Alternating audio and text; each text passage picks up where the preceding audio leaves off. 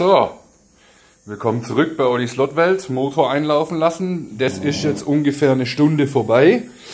Ähm, ich zeige euch immer wieder Zwischenberichte aus dem Grund, damit ihr die Angst davor verliert. Es ist nichts Weltbewegendes. Das Einzige, was weltbewegend dran ist, einen Motor zu machen, ist die Zeit. Und heute werde ich lang, lang hier sitzen, weil ich einen falschen Zeitpunkt gewählt habe, aber das ist mir egal, wir haben eh Wochenende. Also er läuft jetzt seit einer Stunde.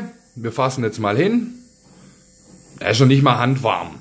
Also macht euch keine Gedanken. Ich glaube eher, dass er nach drei Stunden mal warm wird, richtig. Ähm, darum A, haben wir hier die Zirkulation gelassen und B, können wir dann später noch, falls er zu heiß wird. Also wenn ihr hinfasst, nee, der hat noch kaum was.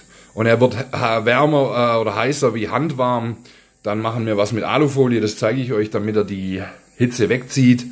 Äh, das zeige ich euch, aber im Moment läuft er ganz ruhig. Ihr hört es auch, Moment. Leider hat er sich noch nicht verändert, aber in einer Stunde kann man das nicht erwarten.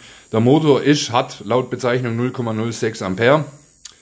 Wenn, wenn wir Glück haben, nach allem haben wir 0,07 oder 0,08. Was bedeutet, wir haben einen stärkeren Drehmoment erzielt. So, das war's bis jetzt. Wir sehen uns wieder später.